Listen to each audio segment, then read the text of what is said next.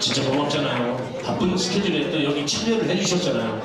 네, 우리 서충원 의원님께서 오셨으니까 네, 여러분께 오셨는데 목소리를 한번 들려드려야지. 맞아요.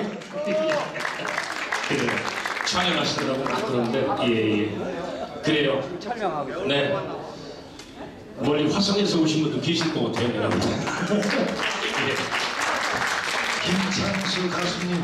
김장수 예, 가수님. 아유 미안해요. 내가 좀 그래. 아이고 많이 아니요. 이렇게 날씨를 보니까 미남지처럼 맞네요. 미남지시고 내가 방해를 나서 내가 오래간만에 노철의원 지역에 내 광주분들이 많이 오시고 가는데 지난번에 노철의원 텐션 담당 사무장을 했거든 그래서 아시는 분이 쓰기 해주시고 그 다음에 내가 밥먹은 살게요 미안했습니다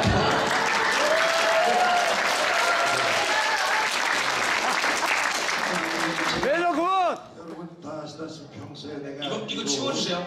이거 치워도 돼. 어, 살아가는 우리 노철의 의원이 연예인 시민봉사단 별대식 총재가 돼서 오늘 음, 약속이 있어서 인천 가서 특강하고 술 한 잔 먹고 싶은데 여러분들 오신다고 해서 술도 못 먹고. 지금 인사 잘 술도 먹고 왔으니까 우리 서정호 어, 또 우리 동지도 오고 많은 분들이 오셨는데 여러분 반갑습니다. 어, 정말 어, 노슬레이 내가 친동생 같이 또 내 또 대학 후배니까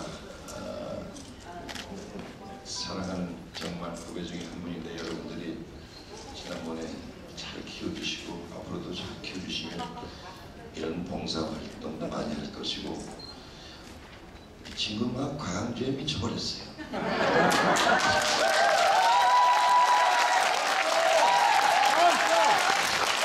광주에 예산은 예산은 다 따라가 말이야 광주에 갖다 줘서 내가 지선 기후보다 이번에 말이야 밀별도 다 갖다 줬다. 여러분들 사랑하는 것 같고요. 사랑해 주시고 봉사도 많이 하고 여러분들 오래간만에 에, 반갑습니다. 저 연예인 여러분들 죄송스럽고 어느 분이 노래하시는 네, 참, 참. 서지요.